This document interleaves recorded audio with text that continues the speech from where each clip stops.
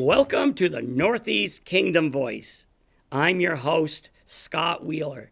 Today with us is our esteemed Northeast Kingdom reporter, Robin Smith from the Orleans County Record. Welcome to the show, Robin. Thank you for having me. Uh, I think it's the last show you were on. You were on my radio show, and I referred to you as the queen of the reporters of the Northeast Kingdom. But you corrected me. I did. Tena Starr probably does have it, and you know, Yeah. while I'm friends with you, I have I actually hero worship Tena because I worked at the Chronicle, Yeah. and I learned everything I know uh, from her. So.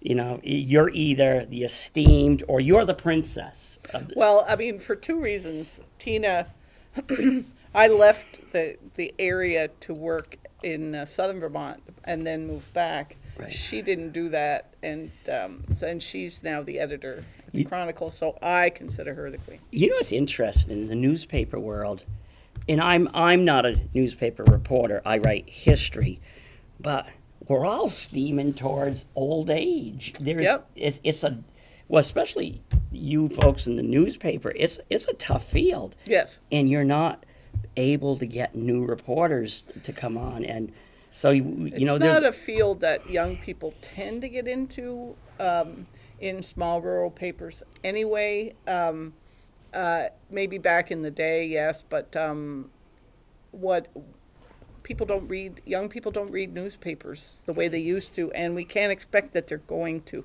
So I would say m- more and more it's an it's an old uh, old person's field Right. and gray hair abounds but that in its own way is good because there's a lot of institutional knowledge in all the people that work for the newspapers in the area So- Well, and, and the thing is, is we do have our vast fortunes from being in such a lucrative field. yeah not Not. but uh, uh, I'll just throw a plug in while I'm saying that the industry is uh, changing because of online uh, access. If you- if somebody still wants to know a definitive story about what's happening, you can go online and find out what the gossip is. But if you want to know what the facts are and who said it and where it came from, people still go to newspapers Right, to right. get that, and it'll be unfortunate when that disappears, you know, um, if it does. uh, today we're we're kind of talking about the upcoming elections, particularly in Newport. Um, but um, w- so we're just going to chat about that. But when I was with the Chronicle, my major beat was Derby, but occasionally I would do Newport and do other other towns. And uh, I actually have a lot of fond memories of doing it. And I know you do a lot of Newport, Yeah. and you do some Derby. Um, I it's it's kind of disheartening to watch watch a minority of the towns governments fallen into a bit of disarray and some people might say failed leadership or at least a misunderstanding of what their role was because uh, I look back 15 20 years the the uh, the meetings were much more civil and they were not so well they just weren't so chaotic have you seen that over the years Um, it depends, I think, on um, who's who's governing the meetings. First of all, and the nature of the criticism is also a factor, um, and also the issues. When um, when Derby was was dealing with um, the uh, plans for two large wind turbines Right. on the hills above the interstate where the I ninety one crosses the border boy, were those meetings hot. And the selectmen had trouble keeping it under control. They had to institute um, two minutes. Everybody only had two minutes. If you got hot and yelled, they'd ask you to step out. Most people respected it. When the issue was done, though, things went back to normal right normal being more collegial, very little argument. Um, sure, people came in with things they were upset about, but it wasn't really a challenge to to the board or whatever. Um, what you're referring to is um, the kind of ongoing difficulty that the city council and the mayor and Barton. and and in Barton also, where um, the people who are on the boards and in the administration, in some cases, in Barton, it's the zoning administrator, it's taken some heat, sh- the wife of Right. now departing um, selectman Bob Croto, um, where they're under constant criticism from some people in the community. And at some point, people on the boards get kind of ticked off. They, they've like had it up to here. Some, and sometimes they deserve the criticism, but it's really hard to do a volunteer job when somebody's always on you all the time. And so I think that's part of what goes on. Um, it it gets to be the animosity is hard to get past. And in Newport, it spills out on social media a lot more than I've noticed. Uh, I'm not aware of it being so much like that in Barton, but there it may well be, and I'm just not tuned into it. But in Newport, social media has been really um, negative about the administration, um, targeting the mayor, targeting the city manager, um, to the point where they have responded in the city town uh, city report, uh, which is I believe you said was you just don't remember it ever happening. I- all right, my um, my um, uh, history is I write history. I have gone through throughout the years hundreds of town uh, annual reports, and I have never seen anything so bizarre as the annual as the as the minutes from a portion of the mayor and the city manager. I've actually showed it to people who are in kind of like the know, and it's like, where along the way did anybody tell them take a deep breath, step back, because they've really. I look at it and, you know, I've done some pretty foolish things in my life. Likewise. yes, I have. A lot of times, if I write something, I will write it. I might print it out. And then, usually by that point, I slap myself, say, What are you thinking? Where did. Where didn't that catch on? Because they've been. That, those. What they wrote is is going to, you know, at least haunt their reputation because it, it basically said, you know, I understand, I understand their frustration. Yeah. I because I served in the state house, if you remember. Yeah. Thankfully, before there was a lot of social media. But when you serve, you should not be a pincushion. But yet, on the other hand, you've got to use some kind of reason. And when that was written, they used no reason. Well, one of the problems with uh, what's in the town report, of a city report, is, um, you know, it's partly a look back on the year and the good things and things they're working on. And then there's reference to the criticism and how social media criticism isn't healthy and it isn't nice and this and that. Um, but I, kind of think the, the the challenge for somebody who writes something in a an annual report, this is going to sit on the shelf in the city for the city's entire existence. Right. This is not a memo to the council from the city manager. This isn't the mayor's opening statements at or, a meeting or that even in a newspaper. uh, a letter to the editor saying, um, gee, you know, I wish people would knock it off. It's hard to do my work when everybody's being so, you know, be critical without being mean. You know, there's ways to do that.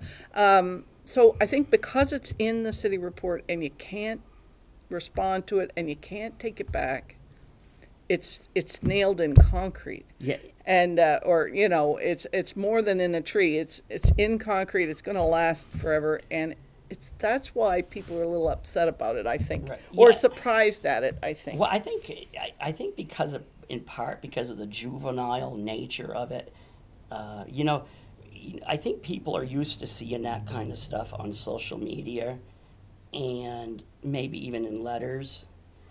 Because yeah but in social media you can take it down if you think better of it right. uh, you can't take it out of the city report it's out there and it's going to always be out there Now, first of all, let me uh, say too, I am not a dirt. I am not a Newport resident. I was born and raised in Newport. My family's been here for generations. I live in Derby, but my heart is still in Newport, and I'm still. You know, I, I actually have somebody. Some people roll their eyes. I actually think, uh, or or at least accuse me of having rose-colored glasses. I think Newport has so much promise. Uh, I think I think the location. I think it's I think it's outstanding. I think some positive things have happened. But as you know, I I work a lot with the outside media, whether it's outside of this area or other parts of the country, or even some some reporters come from around the world. They're not coming to talk to me. They're, they contact me. Sometimes they want to talk to me, but I help them find people to interview. Mm-hmm. And what what some of these people, including some of our leaders, don't understand. The world is watching us through the through the eyes of you know through the the voice of the media, and so just because you have the media's attention doesn't mean you have to whine and complain and and everybody's hearing all this and and I think personally I think some of it is stymie progress because uh, you know sometimes uh, I'm not quite certain who who I can send the you know if, if I have a foreign or a foreign or another member of the press from another part of the country Yeah. on who to talk to because I don't want them just to just to complain because I think we have so much optimism. Um, uh, the hole you call it a vacant lot, I call it a hole. Is Well, it's a. Uh, if you were thinking about it, if it was left over from a fire, I'd call it a cellar hole. Right. That hasn't. Um, it was taken down methodically. All the bad stuff was taken out. The asbestos, the lead. Right. It's ready to be built. So it like a vacant lot. Most people think of it as like paved and ready to go. But in the in the particular way that developers think of it, there's not. You just start building on it. It's pretty well ready. And uh, so, in that sense, you know, that's why I think of it more as a, it's, and I have, uh, to me, the whole has a negative No, you- and- and I- connotation. and I and actually I'm, agree. I work hard not to, uh, I get splinters from sitting on a fence trying not to take sides. So, so um, to say, well, the down, future downtown development location, well, that's maybe too rosy. The whole is too negative. So I think of it as just no, vacant and I lots, and actually te- technically you are right, and I think Yeah. uh, you really are. Is but here's the deal: you and I know the whole the vacant lot is there. A lot of the locals do. We make a big deal out of it, maybe too much. I'm not saying not to work on it. right. It's got to be dealt with. my my cousin I was recently having a, um, a meal with her at one of New, uh, Main Street's fine dineries, uh, Dusset Thai, and my cousin from Connecticut hadn't been up here, and I said, Shannon, I said, what do you think about, uh, what do you think about Main Street? She actually thought it was really cute, you know. There, there were some empty storefronts, and I asked her, and I, I termed these words. I said, "What do you think about the hole? What was her response?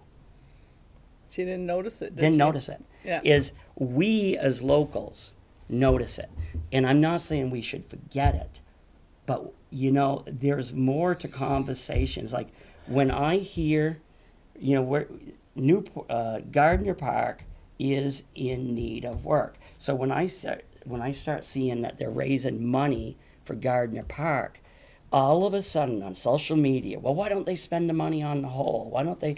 Can't. It's not. Yeah, it's not. Uh, it's not the thing because the city owns Gardner Park. The city and citizens can invest in Gardner Park, Right. and having that outdoor recreation, the uh, bridge that got local permit approval uh, across Scotts Cove that'll con- connect the Bluffside Farm with Prouty Beach, and uh, create a walking and bike path over there. That's awesome. That'll link up to uh, the border through the Right. Beebe Spur Right, bike right. trail. I mean, these are things that local people and people who aren't in development and aren't connected to Jay Peaks, uh, the the uh, the guy who has control over that in the wake of the EB5 scandal, a, a court-appointed receiver they call him, but um, the sale of that property, if it's sold, who buys it? City's going to have not a lot of control about No. what happens. They can help guide it. They can work with the certain kind of development agencies to offer grants and and uh, incentives, tax incentives for developers. This all can happen, but who ultimately takes that property or pieces of it? It's not going to be. The council isn't going to make a vote and have it happen. And a lot of locals think that that could happen. No. It's not going to happen. Um, so we have an election coming up here in Newport. Yep. And uh, and I think the the big surprise, it, it even took me a little bit by surprise. I think it took you, was the departure of uh, Julie Raboin, who's been on this show more than once. It's, did that surprise you? I mean, yes, but I was surprised when you decided not to run again too after being in. Uh, was it four years? Four years. Yeah. So I mean, sometimes people, I mean, they have lives. They ha- get a taste of something, um, and decide.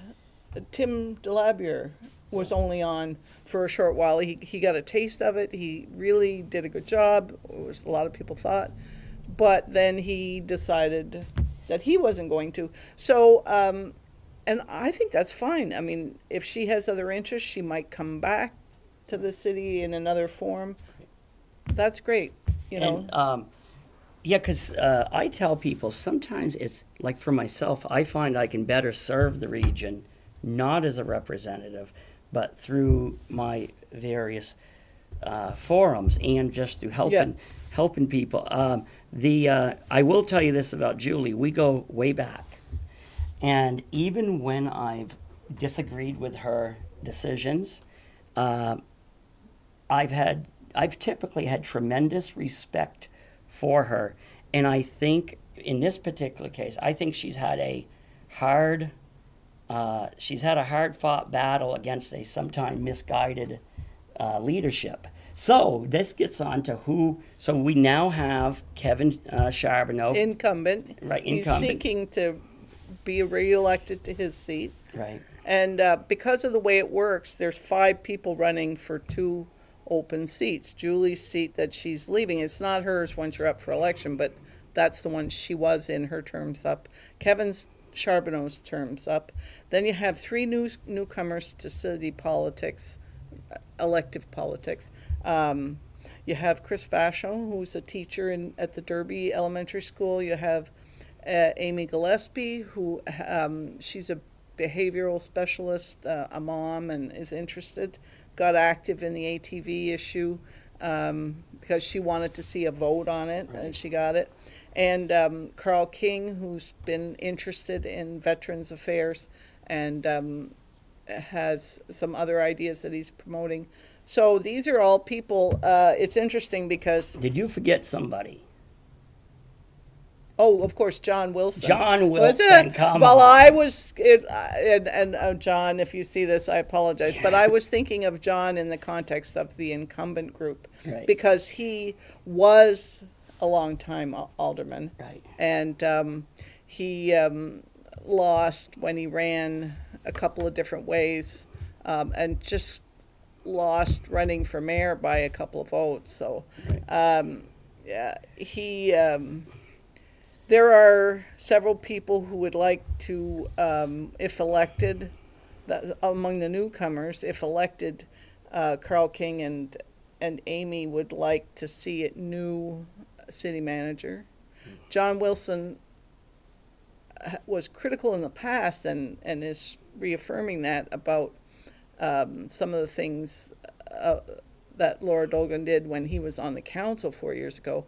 But he did not come out and say what he would do. I'm not going to say So- what they should do, but the, the city does need a new tone.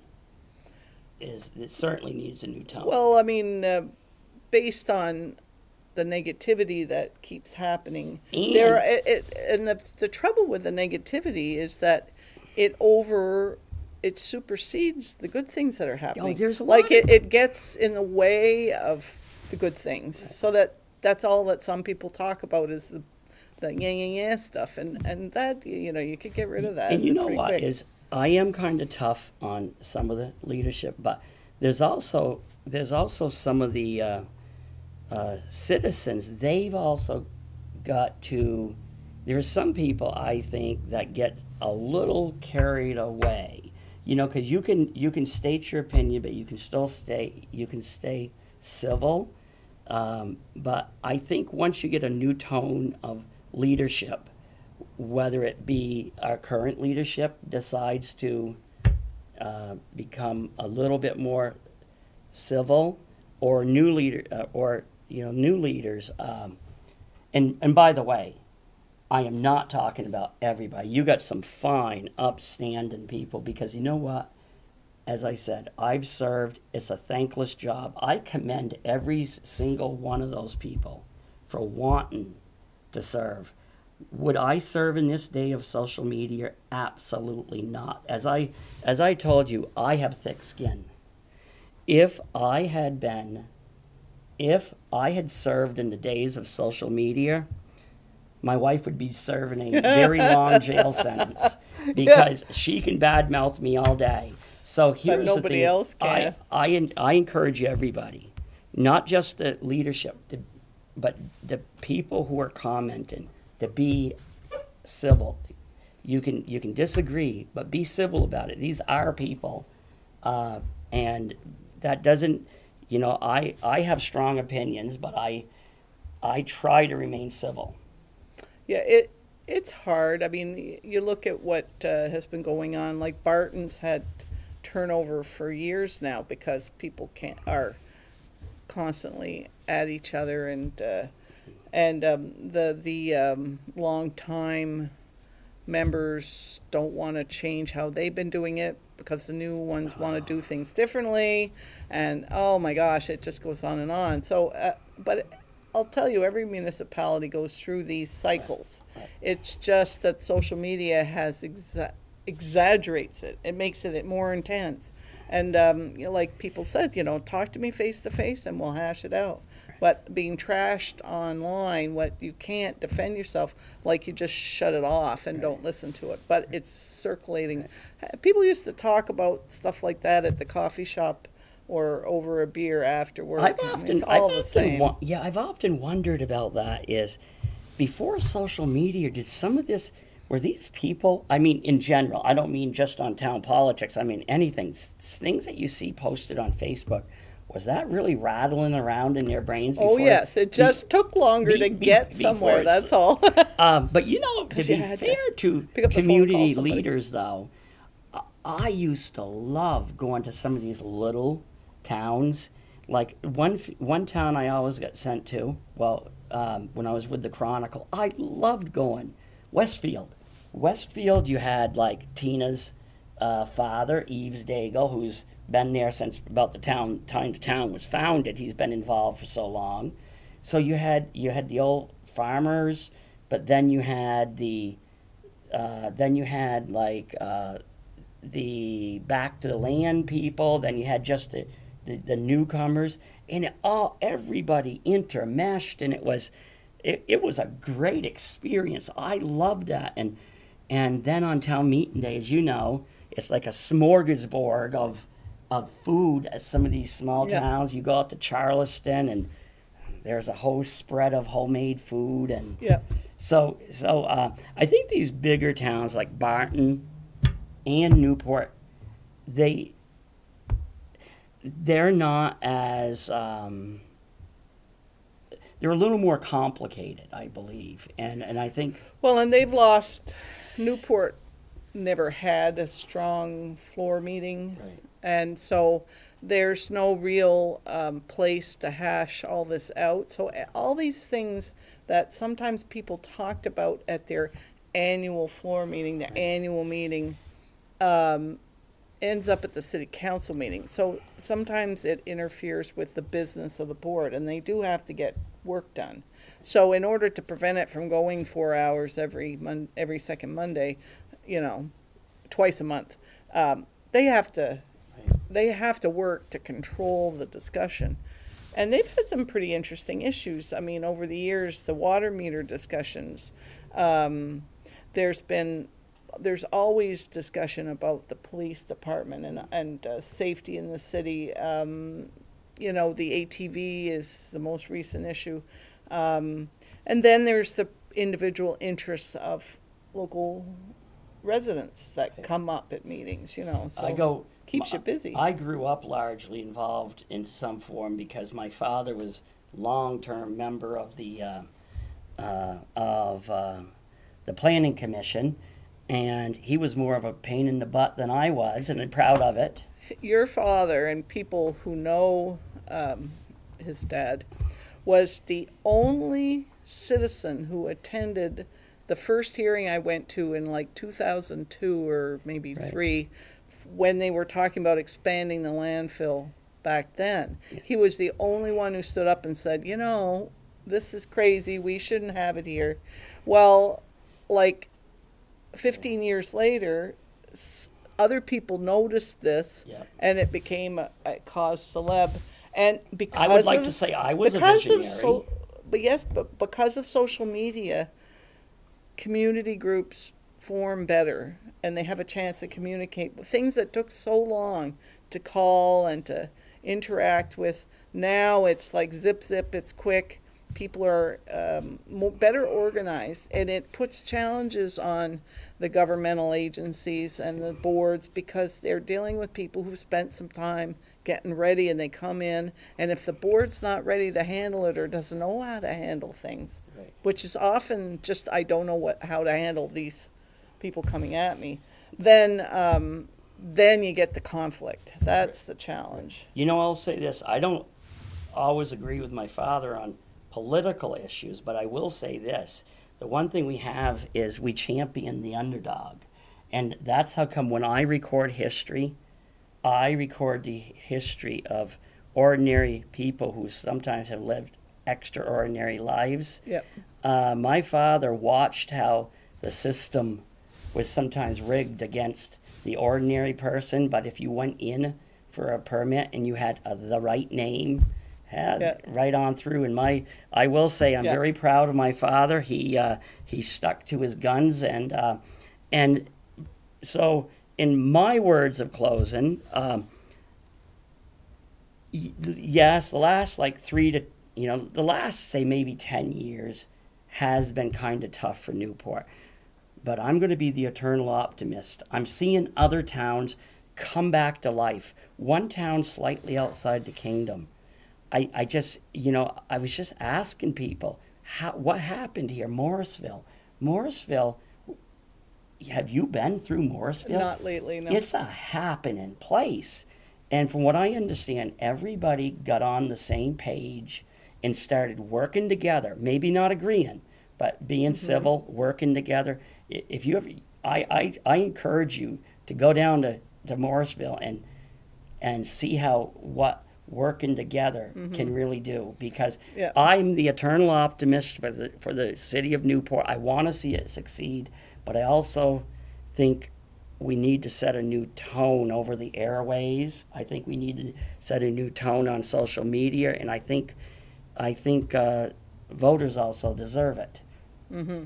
i would agree with that So you're going to take any predictions? You're going to take not not one? You know what? Is I'm Uh, not. that's not my business you go ahead but i'm not I'm not it. a betting man because when I go to Las Vegas, when I pass through to Arizona, I allow myself, you know, they roll out the red carpet for me because once they hear I'm willing to spend up to forty dollars before walking away, eh? I will spend forty dollars. Uh, so in other words, I'm not a betting man. I think we have some good, some good candidates. Um, I, you know, I, I think um, personally, I think it's time for. I, I think it's time in some form to encourage younger people to be stepping forward. Like um, you take the um, you take even they're not in politics, but Andrea Carbine in Vero Raincore, the founders of Wednesdays on the Waterfront. Look what that youth did. That that great event. So um, so if you if these younger people are not going to serve on the the boards, that doesn't mean they can't serve. Those two women have Right. done more for this city. The other thing that uh, is driving, uh, doing a good job is the recreation committee is active in Newport, and they're not political. Right. I mean, and, and they're getting people to buy into this. Yes, we're going to have a like a splash park down in the park, which a lot of people would love to see that. Uh, as an adult, I'd love to go in the evening and put my toes in it on a hot day. I mean, I look forward to it, and I, you know, I can say that that's a positive thing, and I'd love to see it. I know, uh, and I, I know that the uh, downtown group, they are, I believe they're getting more active. Uh, Steve Wright, the uh, general manager of Jay Peak, is on it. And Yep. by the way, is he would, uh, Steve, if you're lis- if you don't listen, but I, I have for the last several years tried to encourage Steve to run for, for mayor. So, uh, He's probably got his hands full until Jay Peak sells and stuff. You know, there, there's a lot of issues up there. You ever thought about moving to Newport, taking off your reporter's hat and running? You you probably know the ins and outs I couldn't than do that. I am have spent so much time trying not to be opinionated, and you have to be to do that kind of a job. And it would be very hard for me to switch over. Uh, do you? All right. I know journalists do that, but I'm not. Do gonna. you? Are, are you optimistic like me for the future of Newport? If the- Absolutely. Well, I when I lived in Bennington, um, and I knew eventually I was going to move back to this area, and um, I used to drive through Newport because the, the state office building was there, and you could see the waterfront, the old buildings that blocked the view. It was so pretty, and I could imagine working in Newport a- again after working there like years, decades earlier. And I had the opportunity to come back, and I was grateful for it. And I just think like that was a great opportunity. The building, the construction of that building in the '90s, um, like you got the waterfront. You're not very far from snowmobile and ATV trails. They're coming right downtown. How awesome is that? Great restaurants, like Pick and Shovel, some other nice stores. I mean, it's just a great place. You can come in, spend an evening, go a little shopping. You know, it's a lovely place to live and work, I think. yeah, um, yeah, and yeah. Do we need to improve? Yeah, we need. You know, we need more Well, moderate. moderate. Retail is struggling too because um, it any retail store from Walmart down to the little guys are dealing with the online presence of shopping, and th- that is going to play out. How it's going to happen, I don't know. But many people still want to go in and touchy feely on the stuff they buy. You know, uh, the Newport um, Natural Foods Market and restaurant. That's the kind of thing that is not going to be outsourced to online shopping because it's just you've got to go in and get it yourself. It makes it different. Here's the thing too, is sometimes us old people, um, we, we, we, we live in the past so much. We, we live when people talk, and here I am writing history, and I'm kind of, and I'm even saying this. Main Street of yesterday, with the discount stores on Main Street and everything that was going on, those days are done. Those days are done. And no, nobody drove them off. It was the change. It was the railroad leaving uh, this country, Well, lar- in in the, the Yeah. interstate. There was so many factors.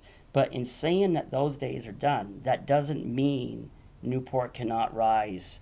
No, because because unlike some other little towns that are totally dependent on one business or um, some other factor, and the fact that's what created them, and you know they would sort of shrivel up without it. Newport has, it's it's a um, it's a th- drive-through town because people have to go through there, which means that there's a lot of people in and out all the time. It has the high school, it has the lake, it now has access through bike trails and other kinds of trails if that continues. Um, I just see all that as like taking advantage of Newport, Newport's natural location, which is just perfect. It, I think that people have to ac- understand that it is not like Burlington. It is a fi- four season, five season town. And therefore, you, you're not going to get the waterfront use in the way that you do on Champlain, which sometimes doesn't freeze. So people are out on the lake a lot more. It, so there's a narrower summer season, but you can be out on the water a lot more than what you can some be people. out right now, as in it's frozen water, but, Well, but yeah. there's a lot of people out on that that body of water um, because this area. Like this isn't the first time, you know. Every once in a while, when you write history, you kind of chuckle when people think they're inventing something, when actually they're reinventing something. Yeah. The turn of the last century, this area, I mean, the Northeast Kingdom, was so poverty stricken uh, because we are a poor section where where poverty. Uh, when I say poverty, I mean financially poor, and not Yeah. so many other ways. We're so rich, but there was a movement in the early to uh, the early part of the last century to brand this area for its hunting and fishing. That's how come we, the state stocked all kinds of fish. That's how come our fishing so is so good Yeah. here because we just we wanted to uh, well that's how come the name the northeast kingdom arose. It wasn't by chance. It was over a several year period because they wanted to brand it to make it known. And um, so so this whole branding in the area has been going on for at least 100 years. And trying to find our niche and sometimes we have run from our very from what you know we've focused so much on what we don't have we don't focus on what we do have Right. it's like when i write history i'm proud to say not everybody likes because you know when you write the history of an area it isn't always it isn't only white fences and white steepled churches. Sometimes there's some pretty gnarly stuff in Yeah. there, but it, that's history. Yeah. So um, it's great to have you on, and uh, won't be long, and uh, we will be into a uh, well, we actually are in the presidential year, and uh, Yep, the primary in Vermont is next week or whenever, uh, town meeting day, actually. Right. And uh, so um, I'm sure uh, politics will be heating up. So it's about time to get off, time for me to get off social media a little bit uh, because I never, I never post, as a business person, I never post direct, as in, uh, especially national politics. If you, when you're in business, the surest way to lose your customers is tell people how to vote. and I don't do that. I let people make up their Yeah, likewise. their own minds. Yeah. Okay, well, thank you for coming on. Glad and to uh, be here. And uh, I, I'm not a betting man, but I, I have some ideas who might uh, might win. But I will say this: I hope those are those who are sincere in serving, really sincere that they want to serve. If they lose, I hope they don't disappear, because there's there's ways to uh, serve your community without actually serving on the Yeah, the you don't have to be elected. There's many ways. yeah and, and sometimes it's it's you can serve better Yeah. by not being constrained by a, uh, the rules of a board. Okay thank you for uh, thank you for coming on. And thank you to the viewers for tuning in to another segment of the northeast kingdom voice